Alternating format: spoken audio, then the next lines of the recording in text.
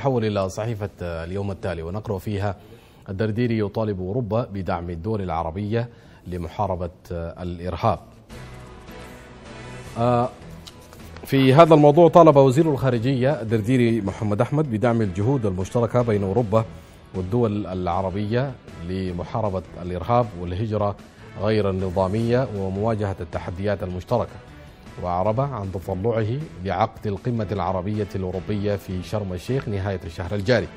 في وقت سابق أمس الاثنين ترأس الدرديري بالاشتراك مع مفوضية الشؤون الخارجية في الاتحاد الأوروبي فيدريكا موغريني الاجتماع الوزاري المشترك الخامس بين وزراء الخارجية خارجية الدول الأوروبية والعربية في بروكسل وقال وزير الخارجية في خطابه الافتتاحي باعتباره رئيسا للجانب العربي إن روابط التاريخ والتطلعات نحو المستقبل وعوامل التداخل والقرب الجغرافي والتحديات المشتركة تشكل دوافع إضافية لمزيد من التعاون بين أوروبا والعالم العربي. من جانبها قالت مفوضة الاتحاد الأوروبي موغريني إن هناك رغبة أوروبية حقيقية في تعميق التعاون سيما وأن الاتحاد الأوروبي حريص على إدارة حوار مع مختلف الكتل الإقليمية في العالم. يبدو أن أوروبا سيد إمام في والغرب بصورة عامة في أعقاب موجات الهجرات غير الشرعية. الآن أصبح بصورة جدية يلتفت لمزالة التعاون الدولي حتى مع الدول الأقل. نموا. كيف تنظر لهذه الشراكات لمواجهة ما يسمى بهذه الهجرات غير الشرعية والاتجار بالبشر كذلك؟ نعم. أكثر من يعاني من هذه الهجرات غير الشرعية هم أهل أوروبا. باعتبار أن هؤلاء المهاجرين يقصدون في هجرتهم هذا في هجرتهم هذه إلى إلى دول أوروبا بعينها. من هنا يتطلب الأمر ليس الدعم المعنوي للدول اللي, فيها قدر من مسارات هذه الهجرات. يعني دول في دول دول منشأ دول عبور دول وصول. فكل هذه الدول خاصة اللي الدول العربية والأفريقية التي تنشأ منها هذه الهجرات دولها ليست هذه المسائل في صدارة اهتماماتها وقدراتها ومقدراتها. فلذلك تلكم الدول التي تعاني من هذا الأمر ينبغي أن تساعد مساعدة حقيقية لهذه الدول حتى تستطيع هذه الدول أن تكون بفر زون أي تكون حاجزا مانعا لهذه الهجرات.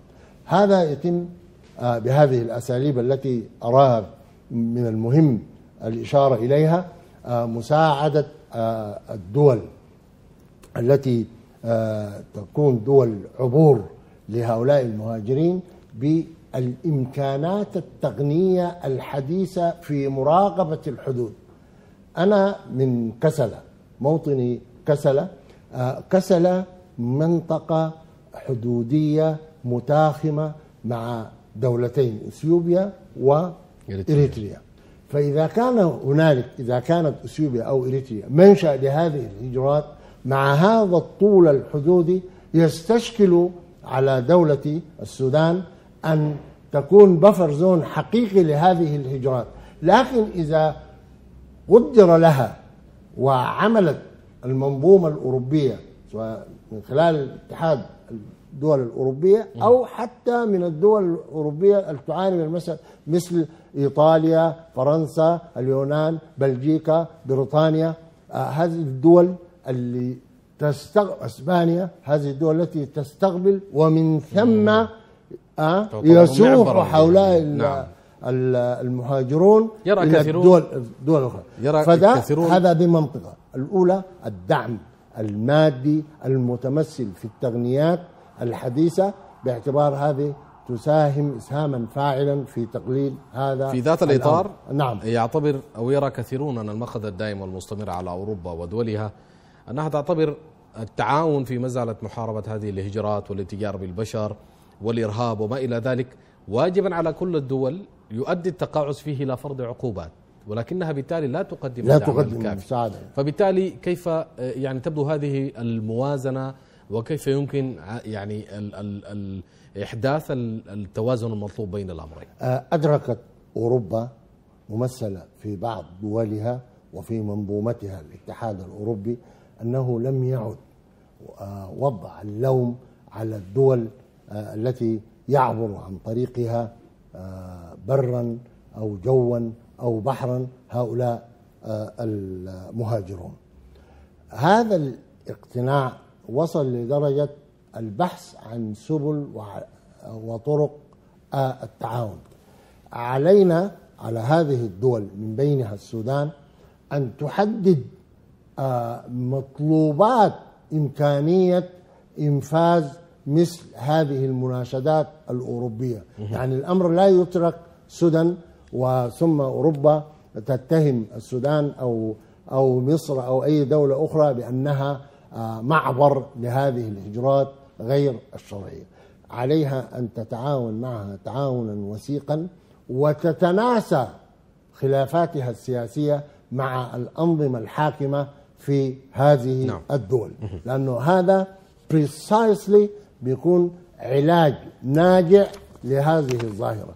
أما الإشارة التي تصدرت الخبر فيما يتعلق بمحاربة الإرهاب أيضا هذا الحديث فيه قدر آه، من التعميم. هنالك بعض الدول ومن بينها السودان عمل جاهدا آه، في ما يتعلق بملف محاربة الإرهاب وحجاجي في ذلك أن المسارات الخمسة التي آه، استوفاها السودان من القوائم. استوفاها السودان من أجل رفع العقوبات الاقتصادية والتجارية والمالية التي فرضتها الولايات المتحدة الأمريكية في عام 1997 كانت هذه إحداهم إحدى هذه المسارات الخمسة فلذلك بمعنى واضح أن السودان fulfill الاوبليجيشنز العملة تجاه هذا الملف يعني السودان آه، أوفى لكن بإيجاز الواجب. بإيجاز. نعم. لماذا لم يزل اسم السودان موجودا حتى الآن في قوائم الدول الراعية للإرهاب؟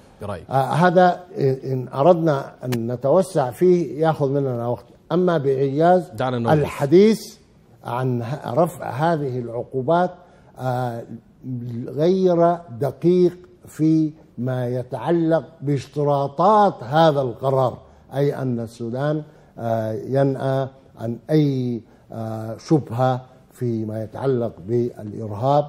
آه، السودان ذهب أبعد من ذلك تعاون مع دول تعاون مع دول كثيرة من بينها الولايات المتحدة الأمريكية في هذا الملف استخباراتيا ولوجستيا. فمن هذا المنطلق كان ينبغي أن يرفع عنه قبل أربع أو خمس سنوات. لكن لم يرفع لأنه أمر متعلق بالعلائق أولا السودانية الأمريكية وما يشوبها من قدر من آه، التجاذب.